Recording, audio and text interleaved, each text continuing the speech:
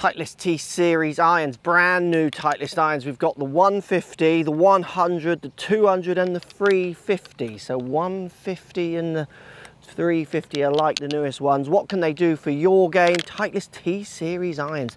They're looking as good as ever. 100, most used club on tour. We've got tungsten weighting, improved sole design, enhanced feel. This is a forged club. This is one that looks great down by the ball. You're going to find tour players using this all across the world because of that great combination of looks, but at the same time, elite level feels. 150, so this one is newer. This one, as in it wasn't in prior generations in this number. This one, it was kind of S in prior generations. This one is a stronger lofted version of the 100. Tungsten weighted, same sole design, same great feel, same great looks, but the loft's a little bit stronger, allowing you maybe to combo if you kind of run out of distance with your longer irons, those kind of ideas, or you just want a stronger version of the T100. T200, this one's probably going to be the most popular. I think it's my most popular out of the range. It's that great combination of fantastic looks, next to no offset, really nice finishes. We still get this badge on the back, not quite as clicky as prior generations, but we're getting max impact technology. We're getting the same bounce that we get on the other one. So that turf interaction, Titleist do like to talk about turf interaction,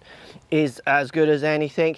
It's got a solid feel. And again, like I say, it's just got fantastic looks in an iron that will give you some some help. And then the 350, the 350 is your power bat. Like this is kind of where I actually would be, bearing in mind I use powerful irons, because this one's a really interesting one. It's strong, lots of strong, it's gonna fly strong.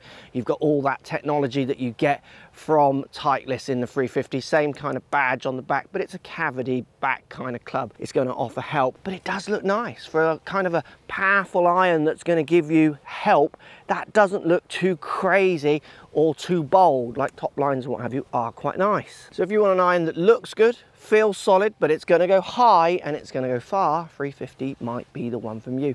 As always, a great combination of irons from Titleist. The 400, T400 continues from the prior model. They kind of just ignoring that one. But when it comes to 350 down to 100, again, another good suite of irons.